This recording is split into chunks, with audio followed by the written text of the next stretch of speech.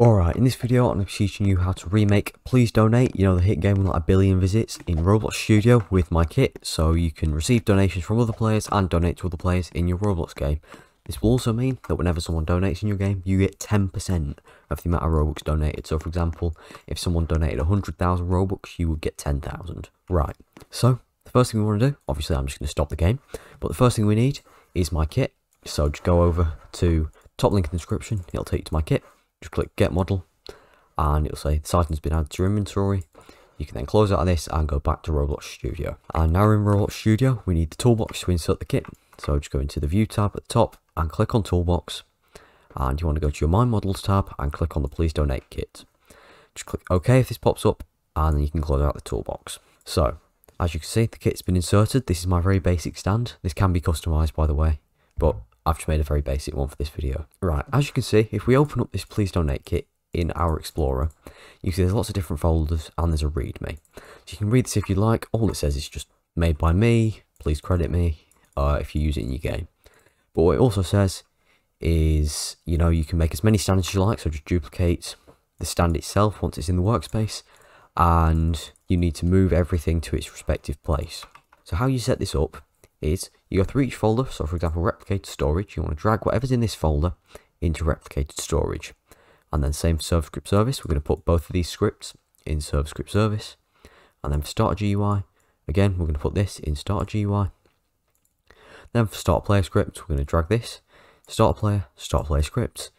And then finally workspace, we're going to drag this up into the workspace. And then we can delete our kit model. So now we have our stand. Obviously, you can make your own map, but this is our stand.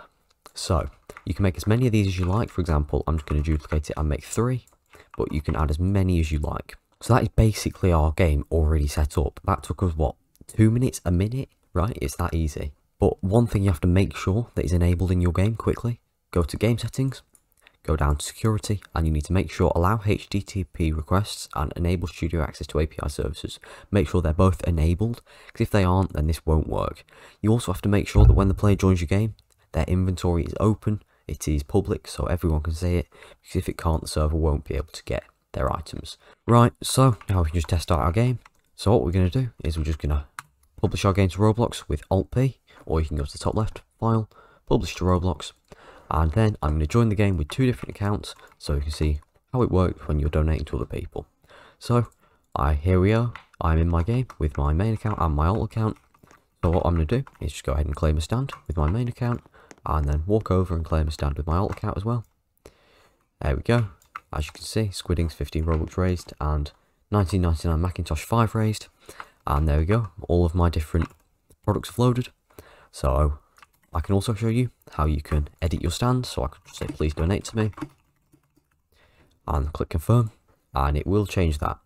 But what you don't have to worry about is getting banned for things that players put on here. Because it uses Roblox's text filter service to make sure it's not putting anything that is usually filtered. So for example, if I want to change my text to something that you, normally does get filtered to show you, I just put in Discord because that normally gets filtered.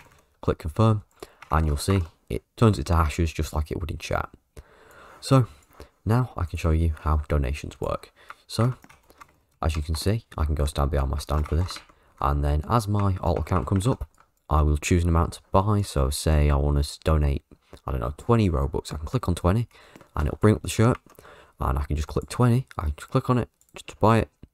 And you'll see, when I click OK, you will see that the raised on the stand goes up and my donated for this alt account will go up and my main accounts received will also go up. So I just click OK. You'll see donated and received go up and as well as the stand. It would also work with my alt account if I had any passes or items of clothing for sale, but I don't at the moment so I can't show you that.